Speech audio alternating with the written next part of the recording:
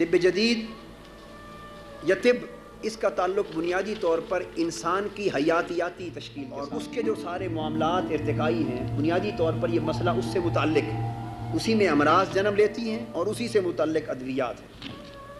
कुरान मजीद इंसान के हयातियाती इरतका पर बड़ी शर बस के साथ रोशनी डालता है। और वो बात जो आज साइंस के और एम्ब्रियालॉजी के माहरीन सदियों की तगोदो के बाद इन एक दो डेकेड्स में जिस नतीजे पर पहुँचे हैं कुरान आज से चौदह सौ साल पहले दो टोक तरीके से उस अमर वाक़ का ऐलान कर चुका है।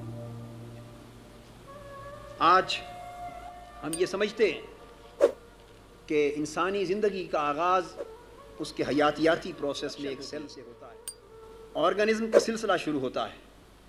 फिर माइटोटिक सेल डिवीज़न का सिलसिला आगाज़ पजीर होता है।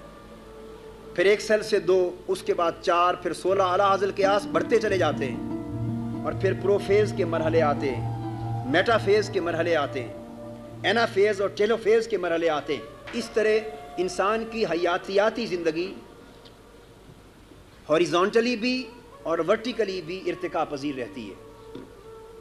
ये तहकीक बेशक आज के साइंसदानों की और बायोलॉजी और एम्ब्रियालोजी के माहरीन की है। मुमकिन है मगरब इस तस्वुर पर फ़ख्र करता हो और उसे करना भी चाहिए।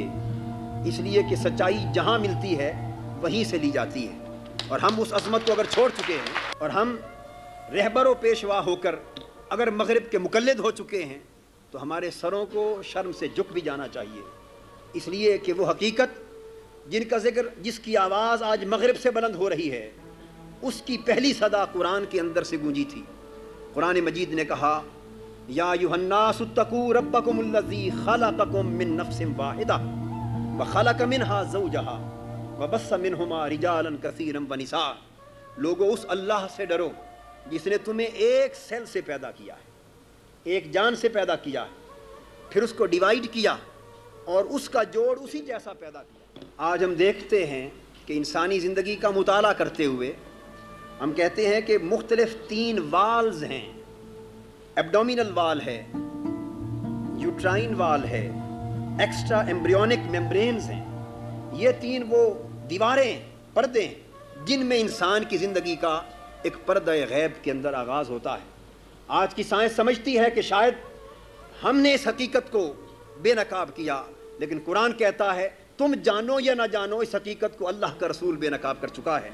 यखलकुम फ़ी बतून उम्महातिकुम खलकन में बाद खलकिन फ़ी जुलमात सलासा कि अल्लाह ताला तुम्हें माओ के पेट की तारीकी में पैदा करता है सिर्फ़ इस तस्वुर को वाजे करने के लिए कि इस्लाम इतना ताल्लुक़ रखता है तिब्बी ज़िंदगी से हयातियाती ज़िंदगी से और कुरानी तालीमत के फ़कत मैंने दो तीन नमूने अर्ज़ किए आप यकीन जानिए कि बीसियों नहीं सैकड़ों की तदाद में कुरानी अहकाम ऐसे हैं जिनका ताल्लुक आपकी साइंस ऑफ़ एम्ब्रियालॉजी से है, बियालॉजी से है, हाइजीन से है हिफ्ज़ान सेहत के असूलों से है, आपकी तिब से है और इलाज और मुआवजा के असूलों से है।